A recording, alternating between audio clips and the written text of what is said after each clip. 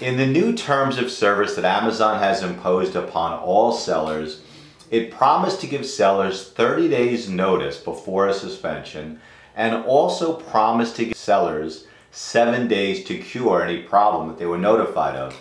However, Amazon created three huge loopholes and the loopholes are so broad that we broke this portion of the videos down into three separate sections. Loophole A, loophole B, and loophole C.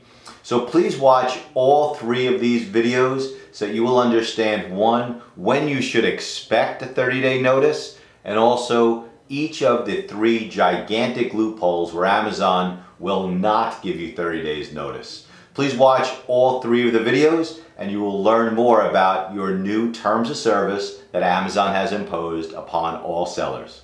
On paragraph three of the new BSA, uh, the terms and conditions. All right, Dave, why don't you start the conversation when it comes to the loopholes in sub B? Sure. Again, I just want to make it clear that these subsections A, B, and C, that this is when Amazon can suspend you immediately. So the 30-day uh, advance notice does not apply to these.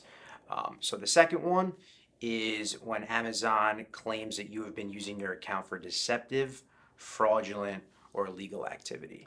Now, notice that they don't define what any of those things are. So again, um, something that's illegal, that can be any IP complaint. So technically, if you're, you know, accused of infringing on intellectual property law, that's illegal activity. So they would be able to suspend you right away. But that doesn't mean that you know that doesn't mean the claim is legitimate.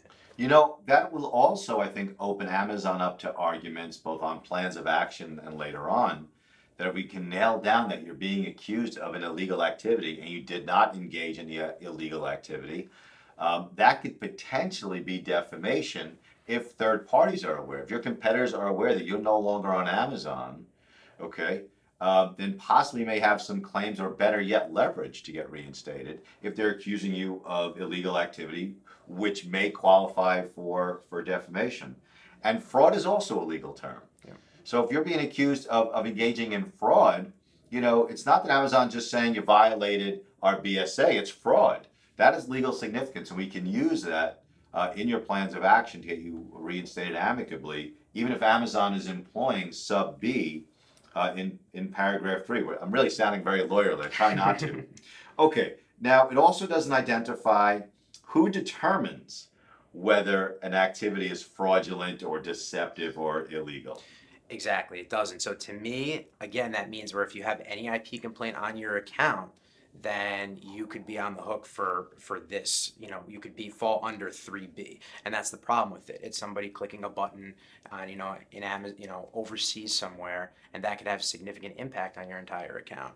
Now, the only time we've actually had Amazon define what deceptive was was in these arbitrations, and we represent a lot of sellers in a lot of arbitrations and at those hearings, we're able to get Amazon to give some details as to what they consider to be deceptive for that particular seller.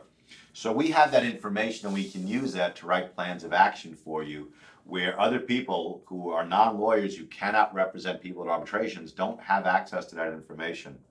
That's the information for this loophole and please make sure you watch all three videos regarding the loopholes Amazon created where it will not give you the 30 days notice or the seven days to cure.